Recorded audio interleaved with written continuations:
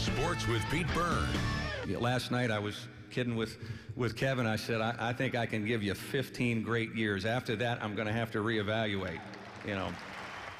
And that was exactly 15 years ago today. Mike Brey, somewhat prophetic, as he was introduced as the head basketball coach at Notre Dame. 14 winning seasons, 10 trips to the NCAA tournament, and two National Coach of the Year awards later, he's going as strong as ever.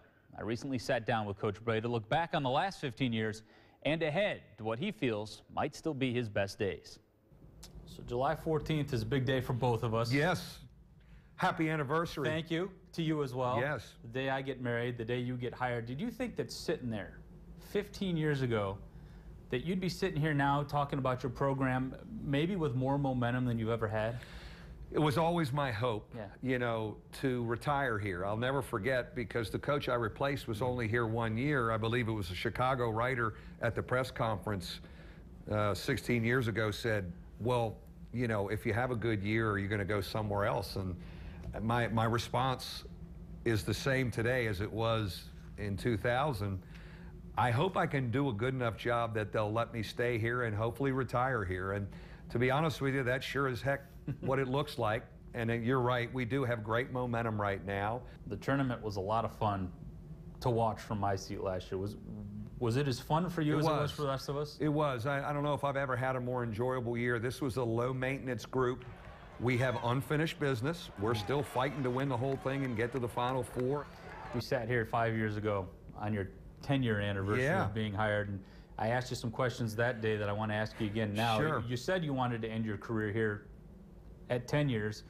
Now that you're at 15, and you've said it again, is there anything that you can think of that would take you away from here? Yeah, I, I, you know, Notre Dame allows me to be the teacher that I am. The mission of this university that we get four and five year guys that I can work with, get them older, get them better. It, it really fits who I am. Um, I love the momentum we have. I love the league we're in.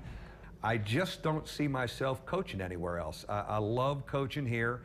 I love when I'm in, in airports now or I'm on the road, people will come up and go, hey, the Notre Dame coach. I'm really proud of that. And we've worked hard to put the program in this position.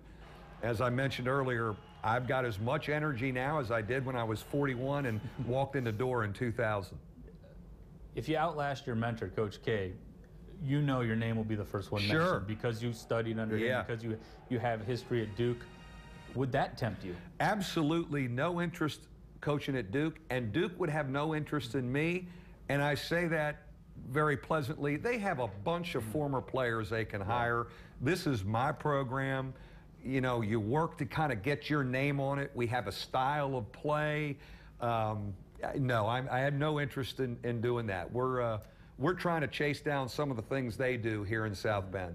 The other thing I asked you five years ago was, do you think it's possible to win a national championship here? And I remember you thought about it, and you said that you thought it was possible, but that things would have to fall in line. It'd have to be a special run.